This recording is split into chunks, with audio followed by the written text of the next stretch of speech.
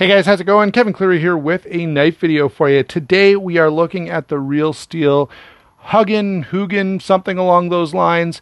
Uh, really, really nice looking knife. When I first saw this design, it was from Ivan Braginets, and I, I, tend to like his work. And so this one popped for me, and I was like, yeah, I really want to check that out.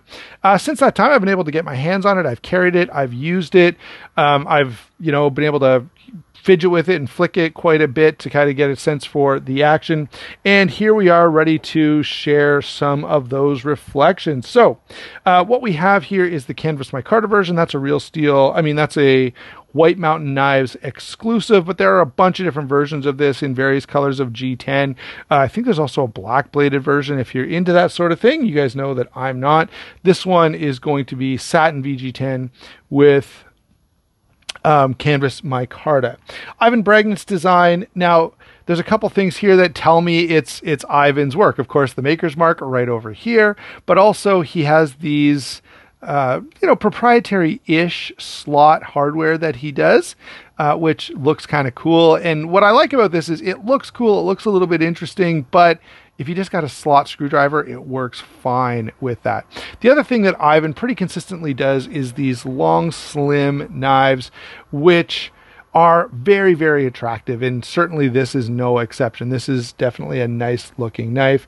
Um, and, and, I've reviewed a bunch of Ivan stuff. He has a few different knives with real steel.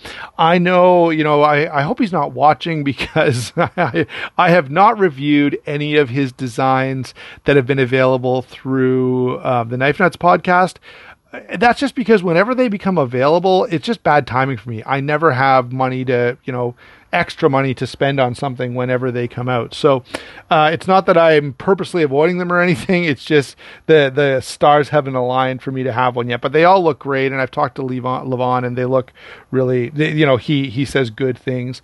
So I'm pretty confident that they're well done. Uh, this knife, on the other hand, is a little more budget friendly, easy to get my hands on. This did come from White Mountain Knives. If you want one, they do still have some in stock. Use my discount code Sharp Stuff. That's a huge help to the channel. In the meantime, go ahead and check out the channel sponsors, um, White Mountain Knives, as well as the others that are listed in the description. That's a huge, huge help to the channel. All right, let's talk touch on size and weight here. Eight and a quarter inches overall, three and five eighths on the blade length, four and five eighths closed. So that's really nice. It's a little shorter. You know, how many three and a half inch knives have we had on the channel with a five inch handle? So the blade to handle ratio is pretty good here. Um, you've got a pretty compact package. So if you, you know, if you're, com- if you're concerned about size and weight, if that's one of the things that is a big deal for you, this could be a really, really good option because you get a good, decent amount of blade. More importantly than that, you get a lot of real estate for your fingers. So if you're someone with bigger hands and you know you're trying to find that perfect knife where it's small enough to carry comfortably, but it also has a big enough handle that you can use it with larger hands. This is a really, really nice option. Um, so, and the weight on this guy is only 3.4 ounces, so pretty darn good all the way around. I, you know, I don't have any major complaints about this knife. Um, the the grip area, if I didn't say so, is a full three and seven eighths inches, so like almost four inches of grip area, which is very very good. All right, so having gotten that part out of the way, how this carries and, and what, what you're getting in terms of size, let's take a quick look at this very nicely done satin blade VG10 steel. So really, really nice performance, you know, very stainless, decent edge retention. Like VG10 is a great steel. And at this price point, I think these are 80 bucks or so. Um, that is really, really nice to see. Um, you know, you it used to be well, I guess no. You know, the the the Spyderco Enduras and Endelas and Delicas and whatever else, um, you know, come in at a similar price point, or they used to come in at a similar price point with that steel. Uh, but I, I think the steel is totally appropriate for the cost of the knife. We've got a nice little swedge up here, very thin behind the edge. So this is going to slice pretty, whoops, sorry guys, I bumped the tripod. Um, so this is a pretty slicey knife for you. The blade stock is about an eighth of an inch thick, so it's not like this big, hefty, crazy blade stock, uh, but it's thick enough to be robust and reliable, but also allows for that nice slicey edge. So very well balanced. And my performance on this, you know, my mileage has been excellent.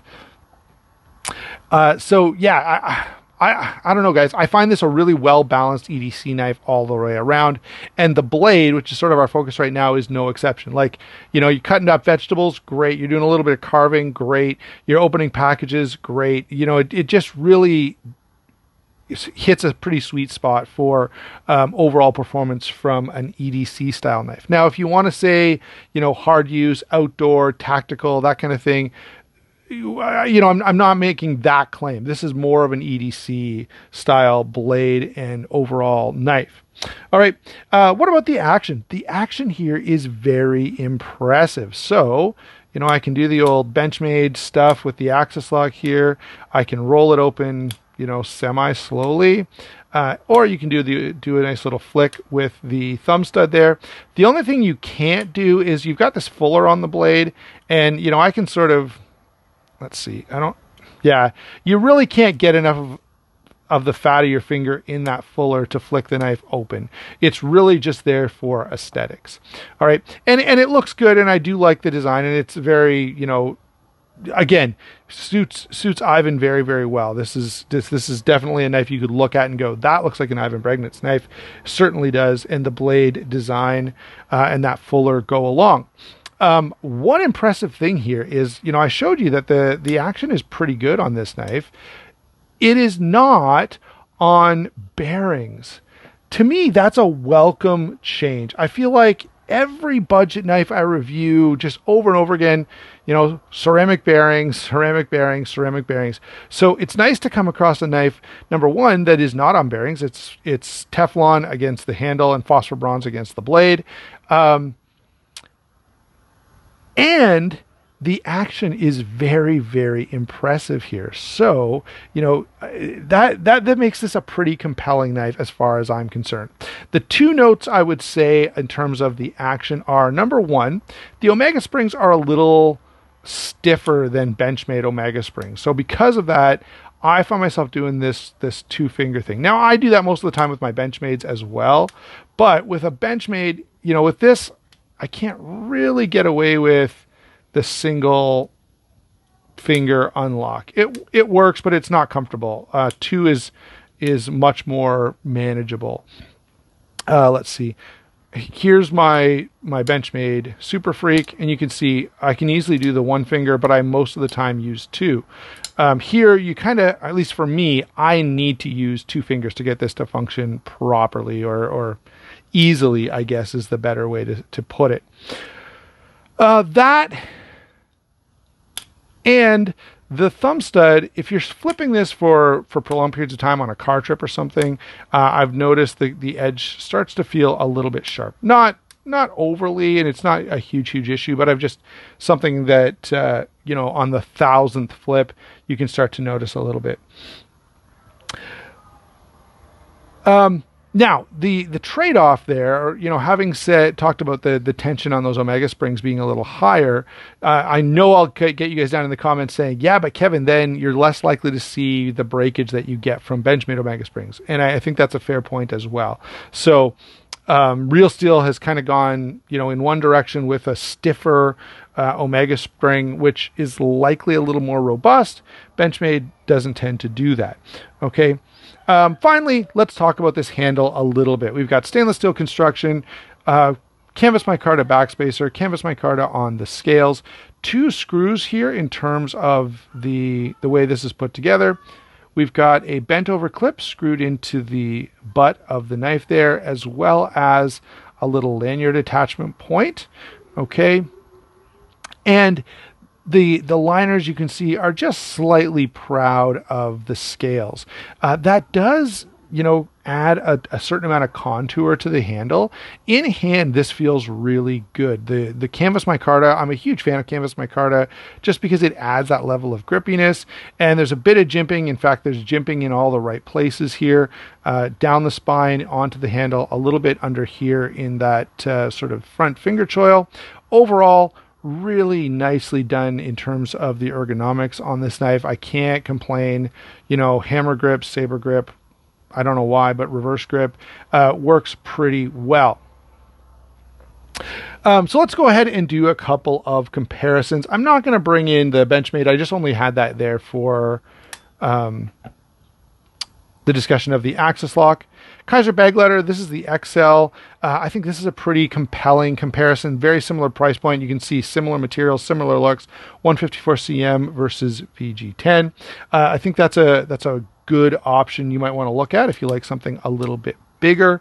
Um, I will throw in my Para 2 here just for a second, not because I'm these are you know comparable price wise but everyone's familiar with the para 2 uh, you sort of you know you want to have that in there to give people uh, a bit of a size comparison I do have another Real Steel over here. This is the Real Steel H6. Great knife from Real Steel. Excellent performance on this knife as well. Um, this is a really, really budget friendly knife. Probably one of my favorite budget folders ever. Civivi Sokoke smaller knife. I wish. Now, here would be a great thing. You know, if they did a, an XL Sokoke that was closer in size to this, that would be fantastic.